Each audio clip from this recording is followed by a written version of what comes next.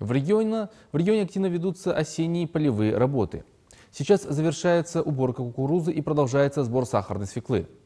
Особого внимания заслуживают труженики Шуского района, благодаря которым урожайность зерновых культур демонстрирует традиционно высокие результаты.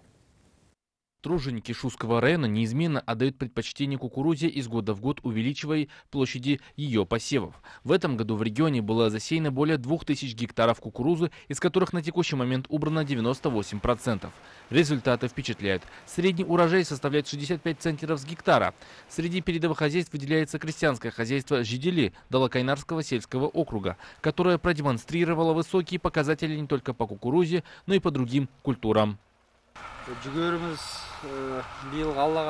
Собираем 90-100 центнеров кукурузы с полей. Пшеницу и ячмень собираем по 20, либо же 15 центнеров. Урожай у нас неплохой.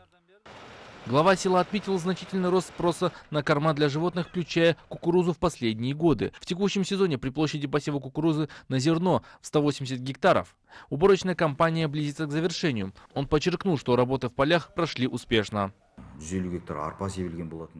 Ячмень засеян на 150 гектарах, кукуруза также на 150, овощи на 30, а бахчевые на 400 гектарах. Люцерну засеяли на 250 и на 300 гектарах. Положение у крестьянских хозяйств неплохое. В Шуском районе в ближайшие дни работы будут полностью завершены.